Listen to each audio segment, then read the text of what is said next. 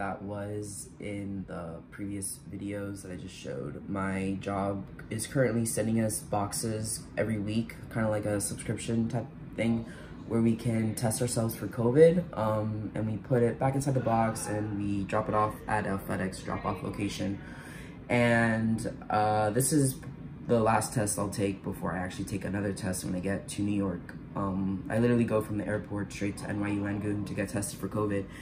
Hopefully I find out these results before then. It might ease some of my anxiety that I have, a lot of the anxiety that I'm experiencing before my surgery stemming from the fact that I have to take a COVID test. Not the test itself, just like finding out the results and it possibly coming out positive because it comes out positive, then my surgery will get canceled or postponed.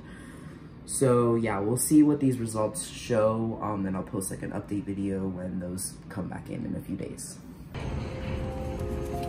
We have found the drop box.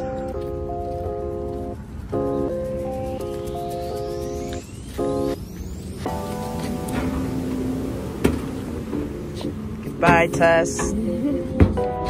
Better come out negative, please. So we're a week away from surgery and I'm feeling pretty anxious, so decided to start packing. Um, some essentials that I would recommend are, wow, my finger is really close to that, I'm so sorry. Um, some essentials that I would recommend are some button-up shirts. Um, I'm gonna take five, I'm hoping that's enough. Eventually I'll be able to do laundry. Um, compression socks, taking some compression socks. I heard those are pretty lit. Um, did I really just say lit? Yeah, I did. Haha. um, here I have some uh, straws. I'm taking some straws because apparently it's much easier to drink out of straws.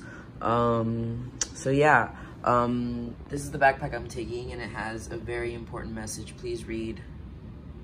Okay, cool, thanks, bye. See you next week, ah! So I'm gonna upload this video without knowing my COVID test results. It's Tuesday night on July 7th. I got, I sent in the test on Friday, July 3rd, and both my roommate and I still haven't gotten our results. A couple of our coworkers too haven't gotten our, their results yet.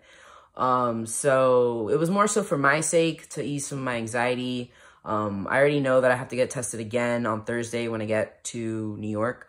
So yeah, um, I'm really excited. I'm um, really nervous. I can't believe it's finally freaking happening. But yeah, um, thank you guys for watching. And the next video I post will be my top surgery vlog. Peace and much love.